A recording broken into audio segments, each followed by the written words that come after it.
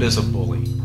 I have a list of a couple things I'm going to read off, well, several things I should say, and I'll uh, try to dive in a little bit after that. Uh, a bully takes money from someone and gives it to themselves and or their friends. A bully takes your things and gives, gives it to other people they deem fit. A bully tells you what to do and the rules you need to follow and they do not need to live by what they have instilled on you and told you what your rules are. They do not live by that themselves. A bully tells you where you can walk, drive, live, where you can work at times, where you can dwell, um, where you can play. A bully tells, shows you who, what you're allowed to associate with, uh, what you're allowed to do, um, the things you're allowed to be involved with.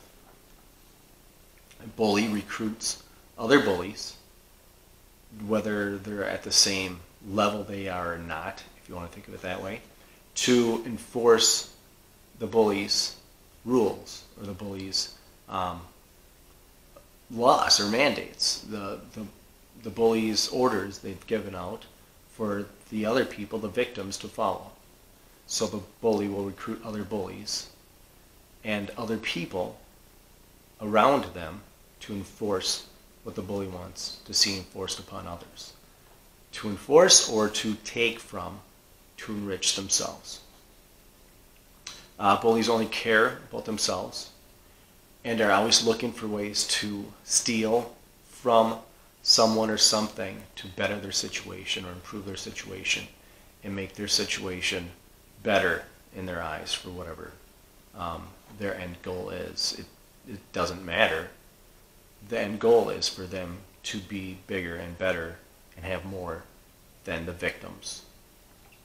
Um, so that could be it could be money, it could be uh, individual wealth as far as um, assets, uh, homes, uh, anything that they, they may have, cars, vehicles, um, it could be uh, little stuff. It could be large stuff. It could be uh, property. It could be taking your freedom from you.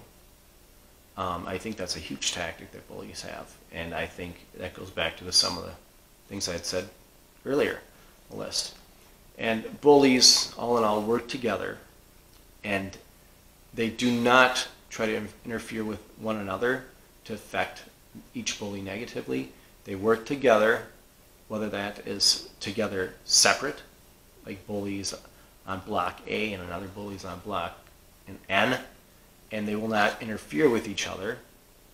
So they'll work together in that sense, and they'll stay on their own turf, if you want to call it that, to um, make the victims prosperous to the bully themselves. So they prosper from the victims by stealing from the victims. Um, so I was thinking about this, and that's that's what a bully is for the most part. Uh, a bully will use force, they'll use scare tactics, um, they'll use uh, fear, they'll use uh, other people to try to gang up on. Um, so if there's one person standing and one person resisting, they'll use the force of other people, whether it be other victims or other bullies, to try to get that that person's um, mind to change, that person's actions to change, um, to try to get what the bully wants done, accomplished. So as I was going through this list, and I was just thinking about doing this quick little video, I had to ask myself, and I'll ask you, what sounds just like a bully to you? What else is out there that sounds just like a bully? I could not think anything better anything more explanatory than the government. The government does all of those things I had said. The government, in my opinion, is the largest bully that there is. Well, as always, thank you for watching. Stay vigilant. Protect yourself, protect your family, and protect your wealth.